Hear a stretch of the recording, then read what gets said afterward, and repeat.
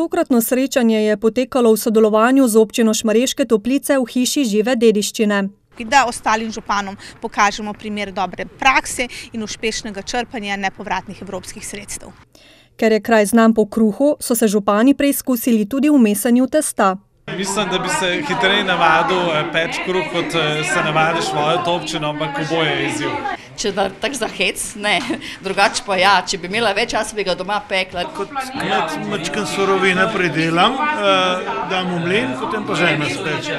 Osrednji dogodek je bila okrogla miza o pomenu lokalnih zgodb na naši televiziji, saj je v ospredju Novica za malega človeka. Novica, ki je utrip tukajšnjega življenja, tukajšnjega življa in ki na tak ali drugačen način tudi sooblikuje njihov prostor. Lahko rečem, da je vaš kanal si ustvaril ugled predvsem po svojem korektnem in poštenem poročanju.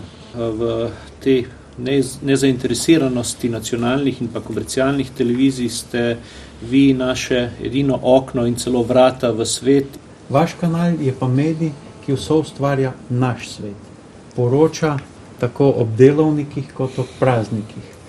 Okroglo mizo smo v celoti posneli z reportažnim vozilom. Oddajo bomo premierno predvajali prihodnjo sredo ob osmih zvečer.